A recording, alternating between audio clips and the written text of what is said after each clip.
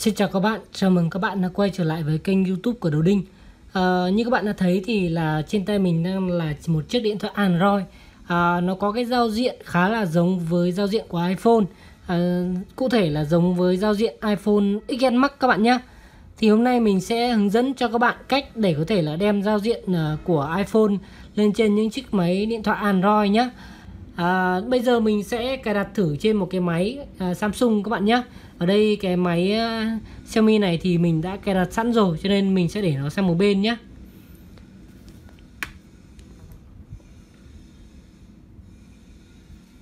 Rồi, đầu tiên mình sẽ để cái link tải cái ứng dụng này ở bên dưới phần mô tả của video này các bạn à, tải xuống dùm mình nhé. Sau khi tải xong các bạn mở phần file lên nhé.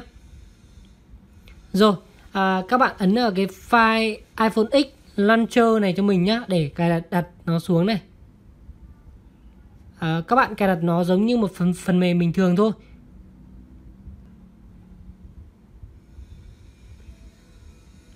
Lần đầu tiên mà mở ra thì nó sẽ yêu cầu các bạn cấp một vài quyền. À, thì các bạn hãy cứ đồng ý là được các bạn nhé quảng cáo các bạn tắt đi này.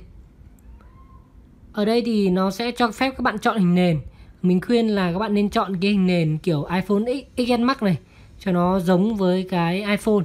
Rồi ok ấn khởi chạy. Cho phép. Các bạn ấn đồng ý này. Cấp quyền. Rồi tiếp tục cấp quyền. À, nó sẽ nói là các bạn tìm đến ứng dụng à, iPhone X này. À, launcher sau đó bật lên này. Cho phép này. Rồi thì ở đây nó sẽ có hai cái giao diện cho các bạn lựa chọn. Thì mình ờ, nghĩ là các bạn nên chọn cái giao diện giao diện thứ nhất bởi vì cái giao diện thứ nhất thì nó giống với iPhone X nhất các bạn nhé mình ấn khởi chạy này. À, rồi các bạn chờ một xíu thì nó sẽ khởi động cái ứng dụng lên.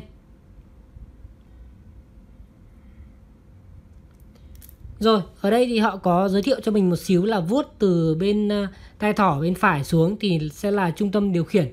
À, vuốt tay thỏ bên trái xuống sẽ là trung tâm thông báo. Đấy, và vuốt từ uh, vuốt xuống như này sẽ là phần tìm kiếm các bạn nhé. Đấy, mình sẽ tắt đi này. Đó, tắt đi này.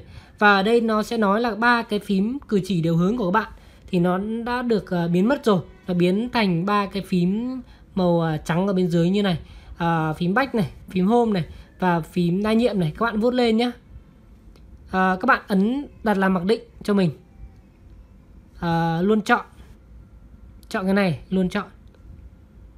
Rồi ok. Đấy các bạn thấy không? Rất là đẹp luôn. Đấy thì à, ở đây nhé các bạn thấy là nó có một cái thanh đốc rất là giống iPhone XS Max phải không nào? Tuy nhiên là khi mà các bạn vào trong phần cài đặt ấy, thì cái giao diện của nó vẫn là giao diện Android bình thường. Nó không thể thay đổi nhiều đến sâu vào trong hệ thống được các, các bạn nhé rồi mình sẽ thử vuốt từ bên trên xuống tay thỏ này. Thì nó sẽ có cái phần uh, control center này uh, điều chỉnh nhanh những thứ uh, như là wifi bluetooth này. Tiếp theo các bạn vuốt từ bên trái xuống nó sẽ có cái phần thông báo và mình thấy thông báo của nó rất là giống phần iOS 12 nghĩa nó có, nó còn có cả cái gộp thông báo nữa rất là tiện luôn. Đó. Thì bây giờ mình sẽ vuốt lên nhá. Đấy, các bạn thấy nó rất là đẹp luôn. Đấy. Rất là giống với ờ, iPhone X, có cả những cái thanh chấm tròn bên dưới nữa. Đấy, phần điện thoại thì nó vẫn như bình thường thôi. Đó. Phần tin nhắn nó cũng vậy thì mình sẽ giới thiệu qua cho các bạn một xíu về phần cài đặt của cái ứng dụng này nhé các bạn ở phần iPhone X này cài đặt này. Rồi nó sẽ có một vài cài đặt như sau. Thứ nhất là phần desktop này. Thì nó sẽ cho phép các bạn điều chỉnh như là cái số hàng và số cột tại mục này size này. À, số à, cột này đây là số hàng này. Đó.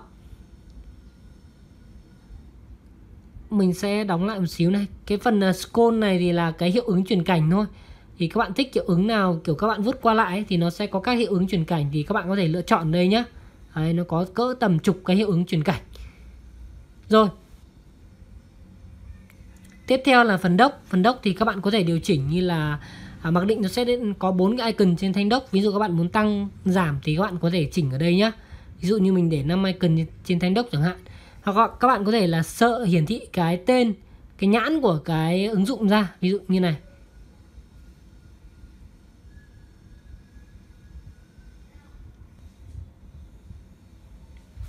Đây, các bạn thấy là có 5 icon ở thanh đốc và nó sẽ có những cái nhãn ở bên này ra.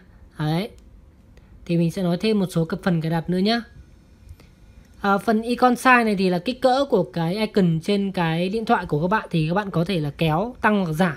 Mặc định nó sẽ là 118% ở đây mình sẽ để nguyên. Cái phần này là cái phần uh, cử chỉ uh, vuốt. Thì uh, các bạn hãy để nguyên nhé uh, ờ, không nên điều chỉnh cái này. Rồi cái phần X03 này là cái ba cái phím điều hướng của các bạn ấy thì các bạn có thể là điều chỉnh, thay đổi lại cái vị trí của nó chẳng hạn. Thì mặc định nó sẽ để phím back ở bên tay phải, còn các bạn muốn để phím back ở bên trái thì các bạn có thể chọn cái này. Hoặc là các bạn muốn giống iPhone X nhất thì các bạn chọn cái này để có thể là vuốt miệng vuốt xuống này để vào này. Đó. Thì các bạn cứ vuốt thôi. Đấy, rồi có một số cái tùy chỉnh như là dung mà khi mà các bạn sử dụng cái cử chỉ vuốt này. Đấy. Thì các bạn thích dùng thì dùng, mà không thích dùng thì các bạn có thể bật tắt ở đây nhé rồi ở bên dưới thì có một vài cái thông số nữa như là phần à, theme. Thì các bạn có thể lựa chọn vì cái này ban đầu lúc cài thì họ cũng đã cho phép các bạn chọn rồi. Đấy rồi là nó có một cái phần là các bạn có thể để tay thỏ. Đấy các bạn tích vào đây. Đấy nó sẽ có cái tay thỏ. Thì ở đây mình không thích tay thỏ vì nhìn nó hơi xấu. À, ở bên dưới thì các bạn chỉnh được như là ảnh nền này. Đấy rồi là ảnh nền rồi là cái này nó còn cho phép các bạn ẩn cả ứng dụng đi nữa cơ. Rất là hay. Đấy ở đây thì các bạn tự tìm hiểu cái này nhé các bạn thêm ứng dụng mà thôi sau đó ẩn đi là được. Ờ, về cơ bản thì à, cài đặt của nó chỉ có như vậy. Ở những cài đặt khác thì các bạn có thể tự tìm hiểu thêm nhé à, ờ, mình thấy là khi mà vào cài đặt uh, sử dụng thì nó hay có quảng cáo. Còn khi mà các bạn dùng bình thường thì à, nó cũng không không có quảng cáo mấy đâu các bạn nhé rồi ok vậy là mình đã hướng dẫn xong cho các bạn cách để có thể biến uh, một chiếc điện thoại uh, iPhone à mình xin lỗi là một chiếc điện thoại Android thành một chiếc điện thoại iPhone à, với cái ứng dụng thay đổi à, giao diện. Đó là ứng dụng iPhone X Launcher. À, video của mình đến đây là kết thúc rồi. Nếu các bạn cảm thấy video của mình hữu ích đừng quên like share đăng ký kênh để ủng hộ cho kênh của đầu đinh nhé. Còn bây giờ thì xin chào các bạn và hẹn gặp lại các bạn ở những video lần tới.